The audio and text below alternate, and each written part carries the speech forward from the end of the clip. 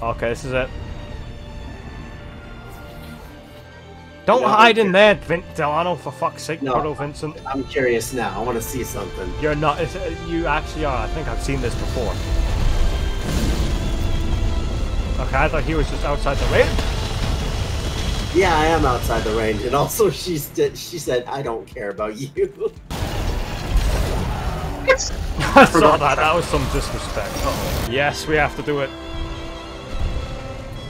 Oh, you're teamed Hey guys. Ah! Oh,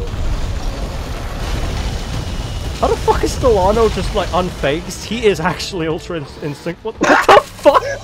What the fuck? What the fuck?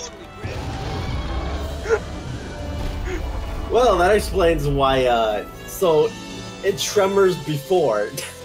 So not only did Delarno just ignore the spirit bomb entirely, then he just runs up to her and just Fuck poked her your once. spirit bomb, nigga. That was that was fucking beautiful. Holy shit! I have earplugs, fucker. Why have earplugs when you have a shield?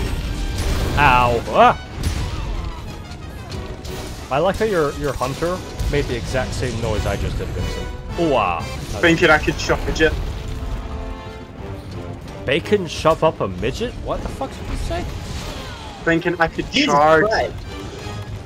Hmm. Wow. Oh, I have a dead cat box. Why does I have a dead cat box? Lana, you know I'm just gonna save that for later. You do know. Please do save it, actually.